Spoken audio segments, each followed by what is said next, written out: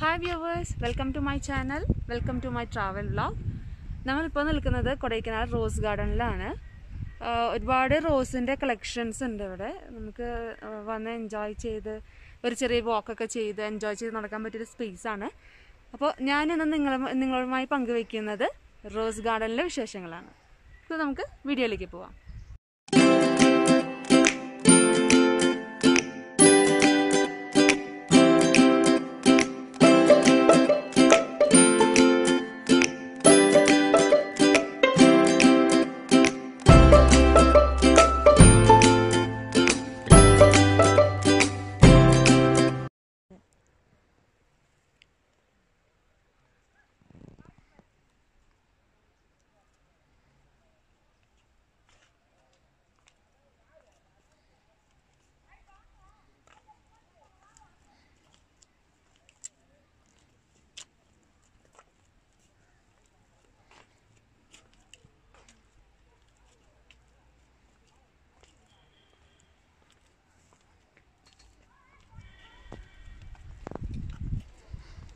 ഇവിടെ ഇതൊക്കെ ഉണങ്ങി നിൽക്കുകയാണ് അത് ഓരോ സീസൺ അനുസരിച്ചിട്ടാണെന്ന് തോന്നുന്നു.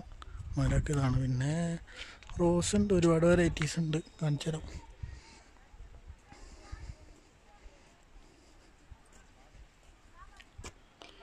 നമുക്കവിടെ കാണില്ല.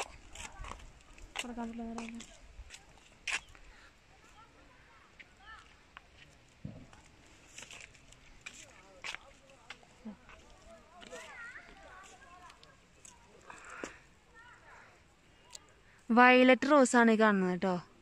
ഞാൻ നിങ്ങൾക്ക് വേണ്ടി ഇതിങ്ങനെ ഒന്ന് പിടിച്ച് കാണിച്ചു തന്നേ ഉള്ളൂ. അധികം അധികമൊന്നുമില്ല. ഓരോ റോസ് ചെടിയുമിൽ ഒന്നോ രണ്ടോ മൂന്നോ ആയിട്ട് കുറേ മുട്ടിട്ട് നിൽക്കുന്നുണ്ട്. എനിക്ക് തോന്നുന്നു സീസൺ ആയിട്ടില്ല അധികം. പിന്നെ പിന്നെ ഒരുപാട് മരങ്ങൾ നിൽക്കുന്നത് കാണാം. അതിൽ ഇലയോ കായോ ഒന്നും കാണുന്നില്ല. ഭയങ്കര ഡ്രൈ ആയിട്ടാണ് നിൽക്കുന്നത്. പക്ഷെ അത് കാണാൻ തന്നെ ഒരു ഭംഗിയുണ്ട് കേട്ടോ.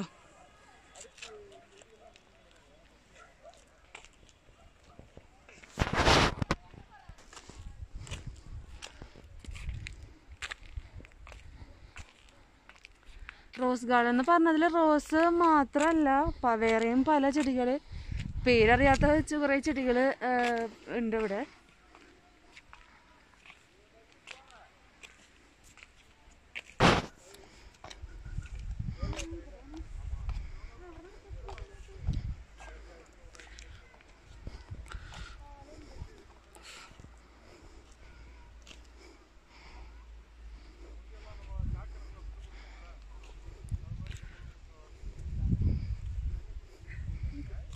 ഇങ്ങോട്ട് നോക്കൂ ചുവപ്പിൻ പൂക്കൾ.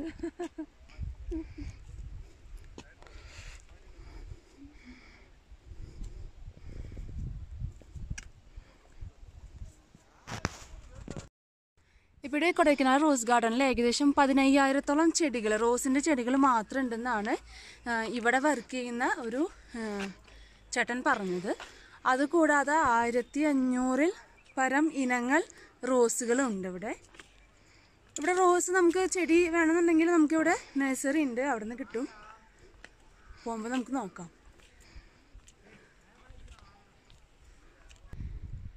ഇതിൽ ഞാൻ ഇവരോട് ചോദിച്ചറിഞ്ഞു. കാരണം നമ്മളുടെ നാട്ടിൽ നമ്മൾ റോസ് ചെടി മേടിച്ച് വെച്ച് കഴിഞ്ഞാൽ ഫസ്റ്റത്തെ ആ ഒരു സെക്ഷൻ കഴിഞ്ഞ് കഴിഞ്ഞാൽ പിന്നെ പൂ ഉണ്ടാവാറില്ല അപ്പോൾ ഞാൻ ഇവരോട് ചോദിച്ചപ്പോൾ ഇവർ പറഞ്ഞത് ഡയറക്റ്റ് ആയിട്ട് നമ്മൾ ചെടിക്ക് വെള്ളം ഒഴിക്കരുത്. അതുപോലെ തന്നെ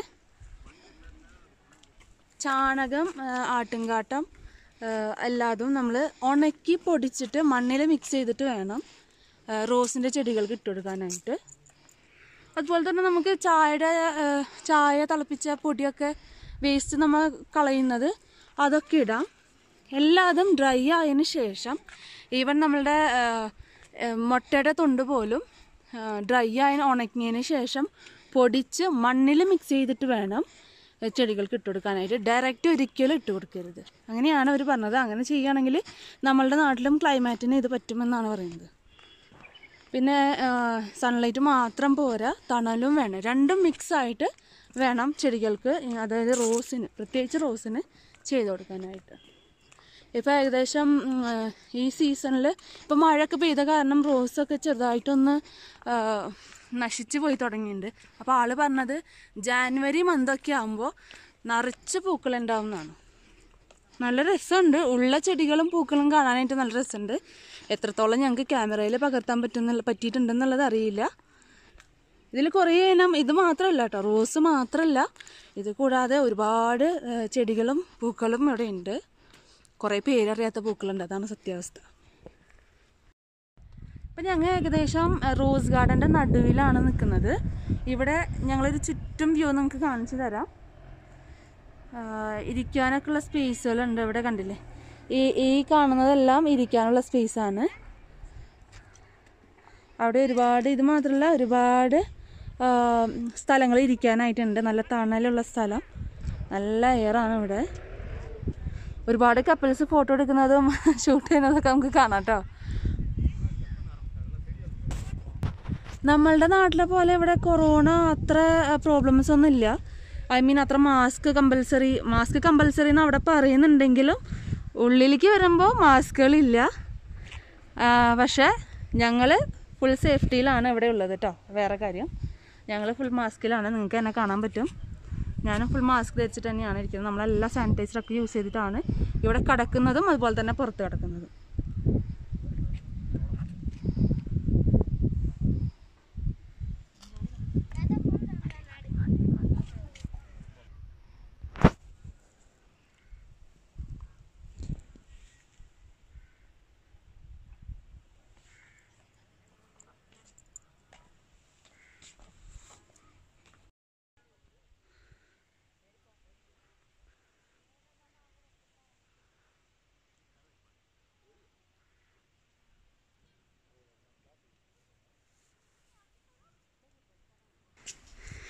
ഇത് കണ്ടില്ലേ? ഒരു ബട്ടർഫ്ലൈ ഒക്കെ ഉണ്ട് കേട്ടോ നമുക്കിവിടെ കാണാനായിട്ട്. നല്ല കളർഫുള്ളായിട്ട് അവർ ബട്ടർഫ്ലൈ ഒക്കെ ചെയ്ത് വെച്ചിട്ടുണ്ട്. അത് കൂടാതെ നമുക്കിവിടെ ഒരു വ്യൂ പോയിന്റ് ഒക്കെ ഉണ്ട്.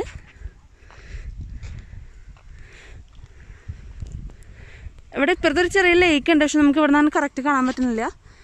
ഇവിടെ നമ്മുടെ കുരങ്ങൻ ഫാമിലീസ് ഇരിക്കുന്നുണ്ട്. Thank you.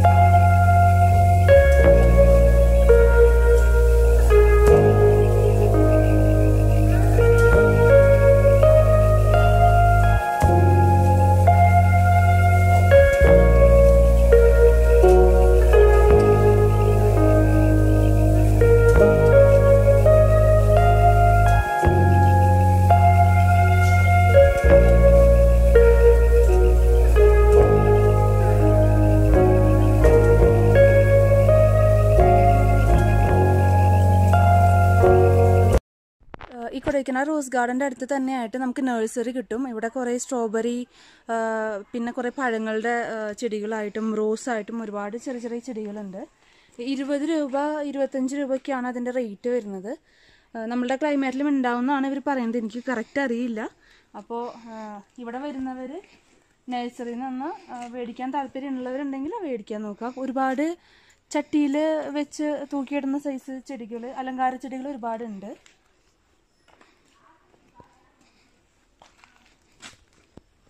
ഇത് ഇത് ഇത് ഇവിടെ ഇപ്പോൾ കാണുന്നത് മൊത്തം പാഷൻ ഫ്രൂട്ടിന്റെ ചെടികളാണ്. ഇവിടുത്തെ പാഷൻ ഫ്രൂട്ട് കുറച്ച് വ്യത്യാസമാണ് നമ്മളുടെ അവിടുത്തെ പാഷൻ ഫ്രൂട്ടിൽ നിന്ന്. ഇതൊക്കെ പാഷൻ ഫ്രൂട്ടിന്റെ ചെടികളാണ്.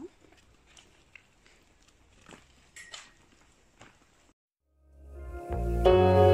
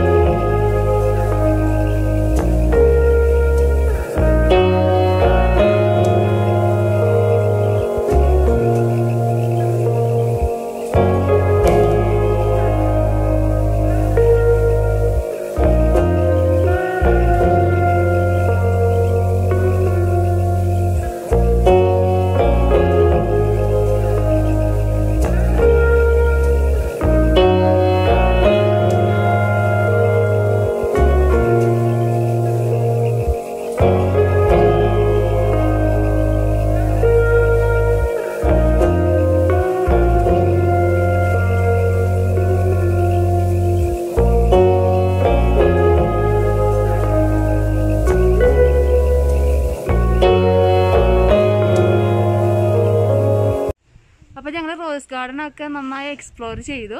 വീഡിയോ കാണാം നിങ്ങൾക്ക് തന്നെ മനസ്സിലാവും ഒരുപാട് കാണാനുണ്ട്. കൊടൈക്കനാൽ വരുമ്പോൾ തീർച്ചയായും വിസിറ്റ് ചെയ്യുക പിന്നെ കൊടൈക്കനാൽ വരുന്ന ടൈമിൽ ഏകദേശം ഒരു ഡിസംബർ ജാനുവരി ആ മന്തിൽ വരാൻ നോക്കുക ആ ടൈമിലാണ് ഇവിടെ ഫ്ലവേഴ്സ് ഉണ്ടാവുക ഓക്കെ അപ്പോൾ അപ്പോൾ ബൈ ബൈ അടുത്ത വീഡിയോ ആയിട്ട് ഞങ്ങൾ വേഗം വരും.